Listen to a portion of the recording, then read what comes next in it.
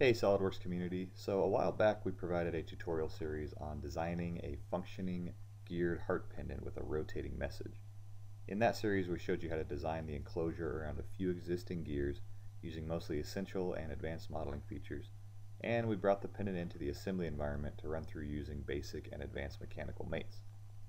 In this three-part series we'll be building on those lessons with a similar hexagonal pendant this time starting with a completed enclosure and running through how to create different configurations of the pendant, as well as setting up Configuration Publisher to make dropping the different configurations in the assembly environment as easy as selecting different parameters from a drop-down list. Check out the description below where you'll find a link to the past heart pendant tutorial videos, as well as links to download the heart or hexagonal pendant SOLIDWORKS models for you to follow along. Let's get churning! In part 1 of the series, we'll be manually creating a few configurations of our completed enclosure part model. We're going to create three additional configurations of this pendant. One at the same size with four outer gears instead of three. We'll create a larger version that is scaled up 30% and has three outer gears. And finally, a larger version that has four outer gears. We can add additional configurations in the Configuration Manager tab located above the history tree. First, let's rename this default configuration to hex geared pendant enclosure dash small dash 3 outer gears. Now let's create a new configuration. Right click at the top of this configuration tree and select add configuration. And we'll name this one as the same small size but with 4 outer gears. In the Configuration Manager tab, you can now see this new configuration has a green check mark by it, so it is the active configuration. Now let's edit our model.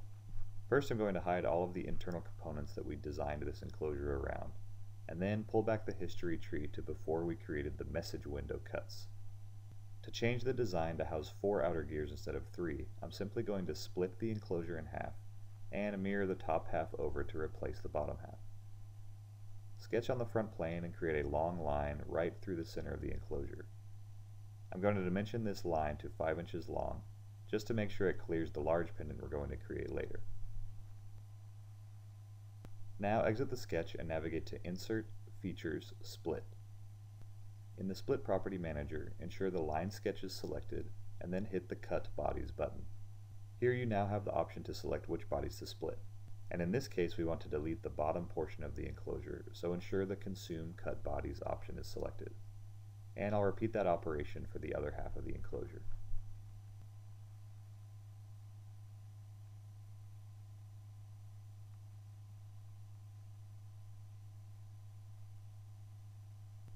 Now in the Features Command Manager, click on the Mirror operation. Select the split face for one of the enclosure halves, and under Bodies to Mirror, select the body to mirror. Under Options, ensure the Merge Solids option is selected. And I'll repeat that with the other enclosure component. I'm mirroring the two enclosure components in separate operations so this Merge Solids option will take effect. If I mirror both the base and the lid in a single mirror operation, merging the resulting mirror wouldn't be an option. Now pull the history tree back down to the bottom and we have our new 4 outer gear configuration. Back in the Configuration Manager tab we can test out the functionality of the configurations by right-clicking on the default configuration and selecting Show Configuration. Now let's add a third configuration. This will be a large 3 outer geared version.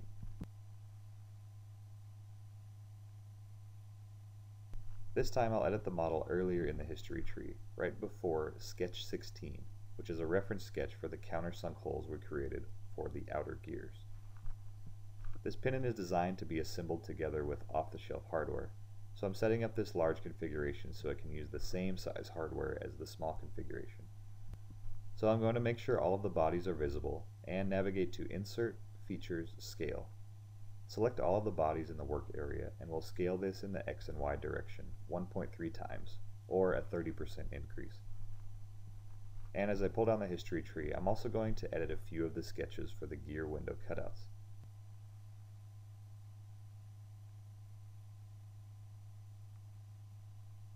Here I'm just increasing the various dimensions by 1.3 times as well. As you do this, just make sure you select the This Configuration option in the little drop down that appears in the Modify Dimension box. This makes sure the dimensional changes only take effect in the large configurations. You could also increase all of the fillets and chamfers 1.3 times but I'm not worrying about it for the sake of time in this tutorial series. Again, let's increase the dimensions of the message windows on the other side by 1.3 times.